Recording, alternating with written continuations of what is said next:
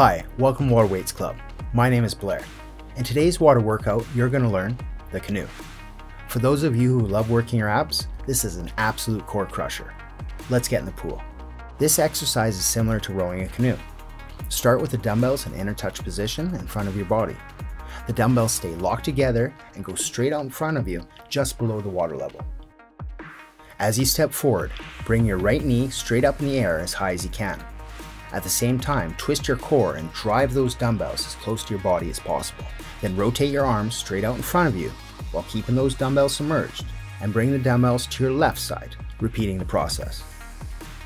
Move forward, taking small alternating steps, keeping the soles of your feet flat on the bottom of the pool. You should not be raising your calves.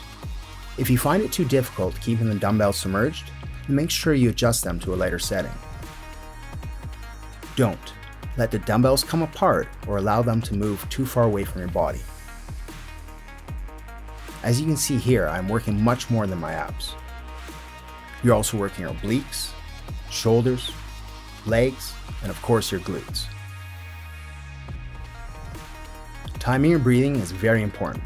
Breathe in through your nose, and as your leg goes up and you're twisting your body, exhale through your mouth.